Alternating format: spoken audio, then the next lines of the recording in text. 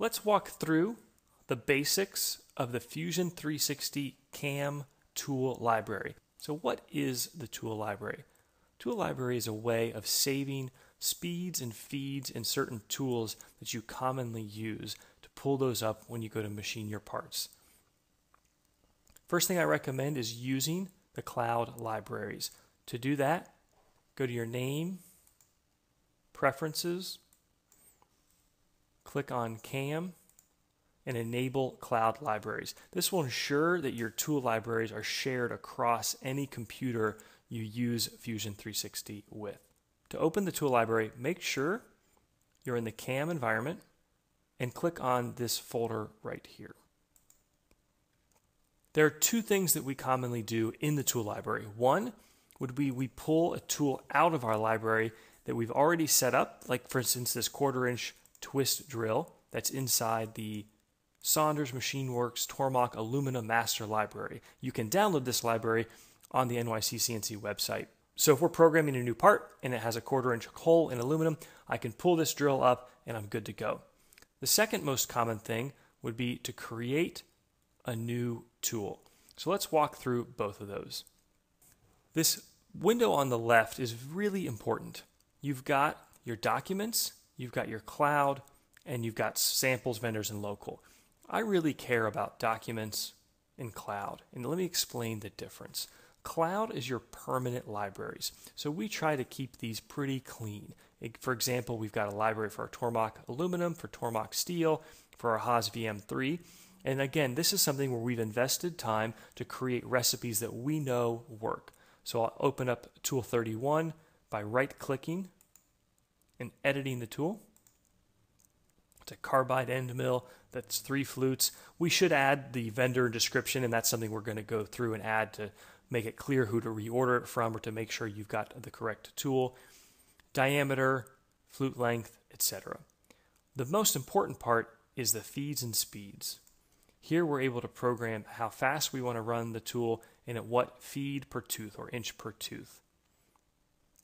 Lastly, post processor. This relates to what tool number it posts as when you post it to your machine. And if you're new to CNC, take a look at our videos on setting tool heights so that you understand how this number corresponds to setting the tool height in PathPilot or at your machine controller.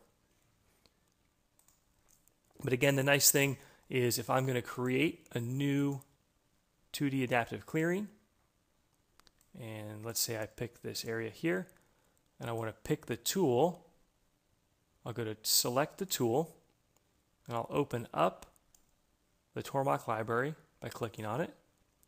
And I can move down and I can pick that tool 31 and it's going to pull in those speeds and feeds that it remembers. You'll notice though something really important happens when I do that.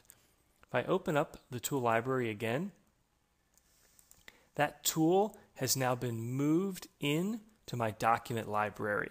And this is why I mentioned the two things that are really important are the cloud folder and the document folder. When you pull a tool into a Fusion 360 CAM operation like we just did here, Fusion 360 creates a copy of that tool. So in other words, it sort of copies it out of your master library and it puts it into, it calls it the documents. Unfortunately, that's a, a poor name. It should really just be your Fusion file. So we have instances of that tool inside this file. The nice thing about that is I could now change some of those speeds and feeds and I'm not affecting the master recipe.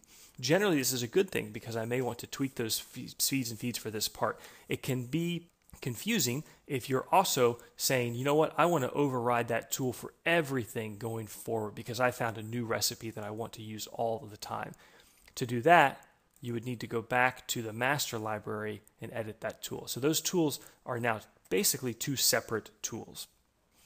To create a new tool in your tool library, the first thing you need to do is you think about is this a tool I'm only using for this job or this part? Or is it a tool I want to have permanently in my library? If it's just for this job, put it in the documents. If it's just for this job, put it in the file name for those documents. But let's say we're going to create a new half inch end mill that we want to use going forward, sort of a permanently set up tool. I'll click on the Tormach aluminum library in this case, and I'll click New Mill Tool. Let's move to the first tab cutter, flat end mill, carbide, three flutes. We'll call it Lakeshore. We'll fill in the rest of this information later. Diameter 0.5. Flute length 1 inch. Shoulder length. Normally for me, I consider the shoulder length the same as the flute length unless it's necked. We'll get into that in some future videos. Body length is important. This is how much is, of the tool is sticking out from the holder. I like to choke up on my tool, so I'm going to say that that's 1.1 inches. This is important because Fusion can tell you assuming you model this correctly, if your tool goes so low that the holder or collet or nut is itself is going to crash into your workpiece. Shaft, I tend not to worry about. Likewise, holder. Feeds and speeds.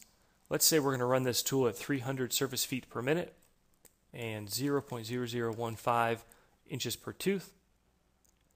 A lot of times I will increase the ramp feed rate, something a little bit higher, and we can plunge at 0.003 feed per revolution. Last tab, post processor. Let's say this tool is going to be tool number 36. And we'll put in the comment one half inch Lakeshore ALU tool. This comment is what shows up in the G code when you post your code. We'll put in demo just so you can see that. Click OK. So we've now created tool 36 inside our permanent library. Let's say we want to change this 2D adaptive to make use of that tool.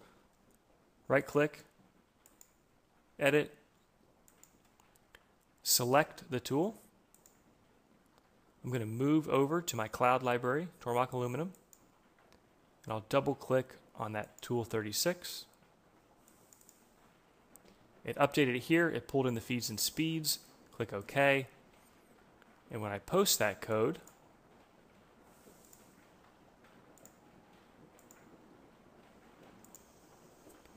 you'll see that the description that we gave it at the end shows up as a commented line in your G code.